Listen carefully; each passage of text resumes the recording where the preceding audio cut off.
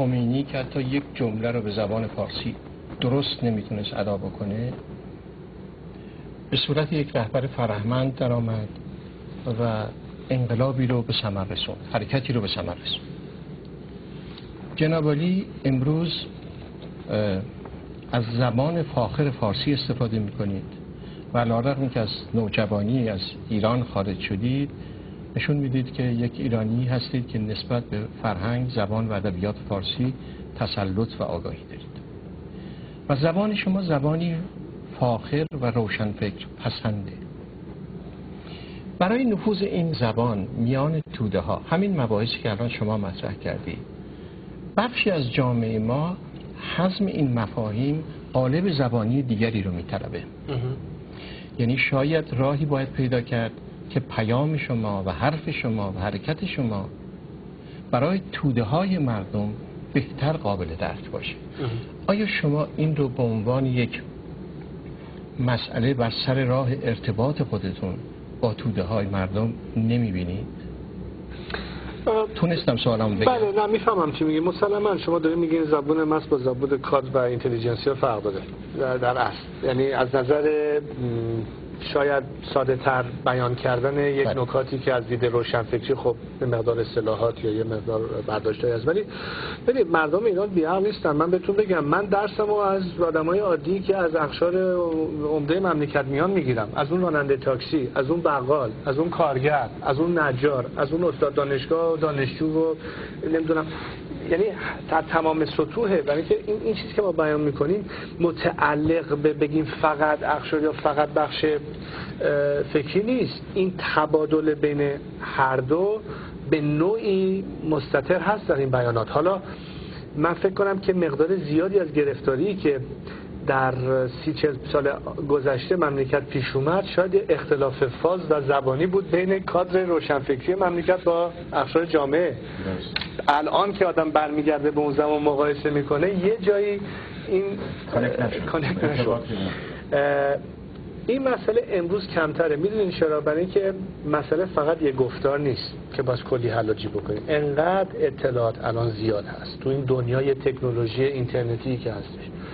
این همه تارنما و این همه نمی‌دونم رد و بدل شدن اطلاعات و ارتباطات و اینا که فکر کنم زیاد تفاوت به اصطلاح مفهومی بین اون صحبت های بیشتر شاید به قول شما انتلکتوری با اخشار نباشه.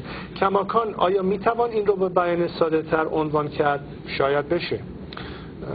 من تو اونجایی که می‌تونم سعی می‌کنم به زبان ساده تری رو عنوان بکنم. ولی فکر نمی‌کنم که لغت آزادی نیاز به تفسیر داشته باشه. مسئله مساوات دلیل زیاد به تفسیر داشته باشه. برابری زن و مرد نیاز به تفسیر داشته باشه. احترام به روحانیت و مشروعیت و جای مذهب به جای خودش نیاز به تفسیر زیادی اثر داشته باشه. حاکمیت مردم قوانین مدنی قوانین انسانی قوانینی که مردم حاکم بر سرنوشت خود هستن اینا دیگه چیزایی که به نظر من گفته شده بحث شده تو خانواده ها مطرح هست تو دانشگاه ها مطرح هست. و به اگه بتونید من رو راهنمایی کنید که زمان ساده تری پیدا کنید من استفاده من سوال دیگر مطرح کنم بله. خدمتتون. من می‌بینم شما در بخش بین المللی فوق العاده فعال هستید مؤثر هستید. همونطور که خودتون اشاره کردید ما یکی از بهترین موقعیت ها رو داریم. برای اینکه یک کسی که قبولش داره غرب می‌تونه پیام مردم مبارز رو به جهان برسونه و شما یکی از بهترین ذخایر ما هستید. بدون هیچ گونه تعارف همین کارو کردم تو این سی سال. بله بله.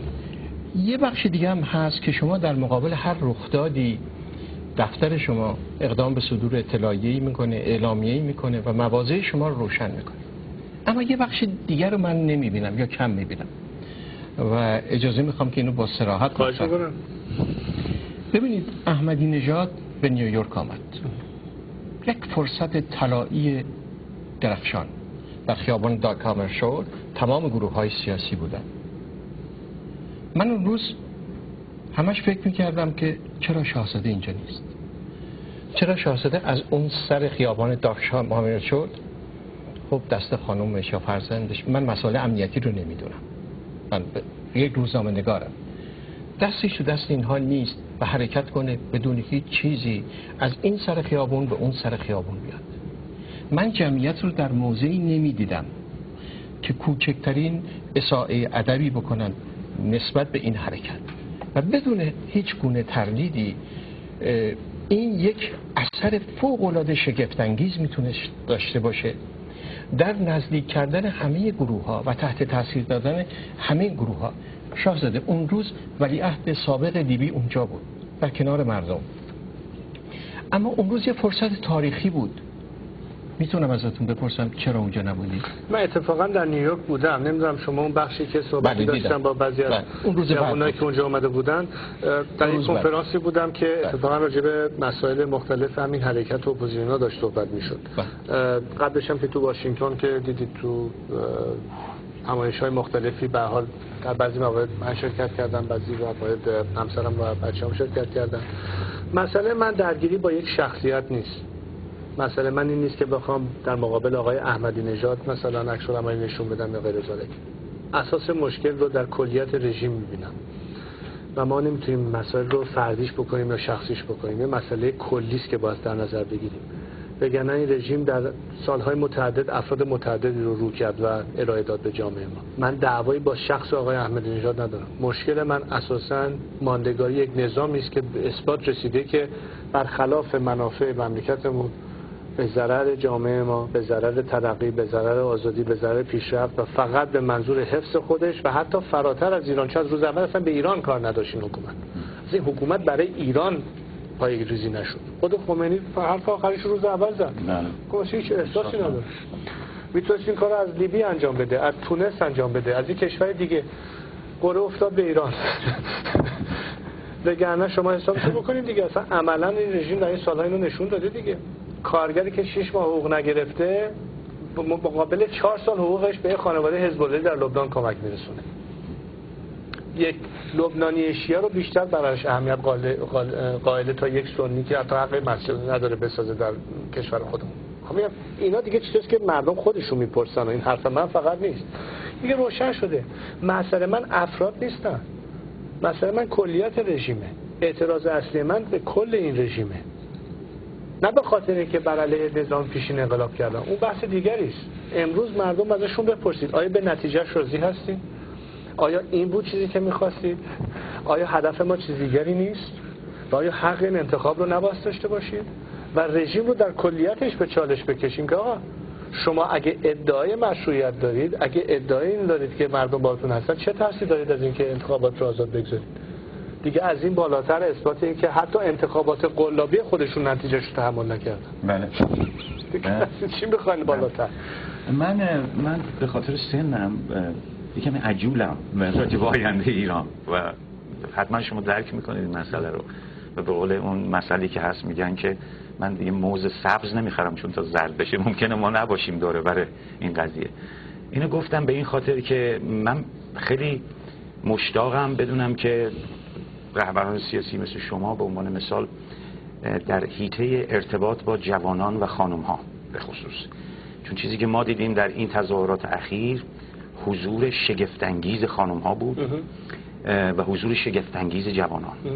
و وقتی شما این بافت این تظاهر کنندگان رو با اون تظاهرات فرمایشی رژیم نگاه می‌کردید که 40 50 هزار نفری اومده بودن میدون انقلاب چهره ها رو می‌بینید چقدر انرژتی هست چقدر بشاش هست اینها.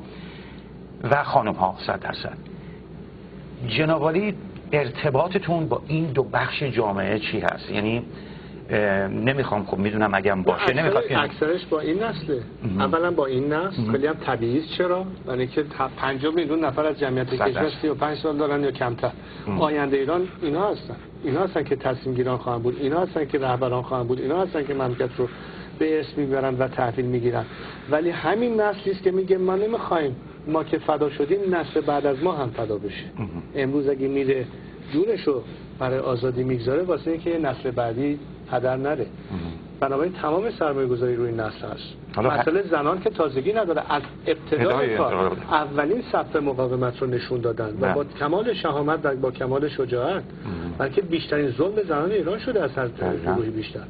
بله، طبیعی است که حالا من هسته اصلی این سوالم این بود که کسانی که مثلا فرض کنید هولوش دوازده سالشون بود ده سالشون بود در زمانی که انقلاب اتفاق افتاد الان 42 سه سالشونه 40 سالشونه. و الان دارن میگن 80 درصد مردم ایران زیر 42 سال هستن. بله. و همینه که رژیم داره رنگ میبازه و واقعا این نیرو داره میاد خیابون. خب رهبران سیاسی خارج از کشور یا داخل کشور یک جوری باید کانکت کنن با این بله. بحث. می‌خوام ببینم جنابالی طرحهایی دارید یا داشتید یا کارهایی نمی‌خوام وارد جزئیات بشیم طبیعتا اگه هم شما داشته باشید.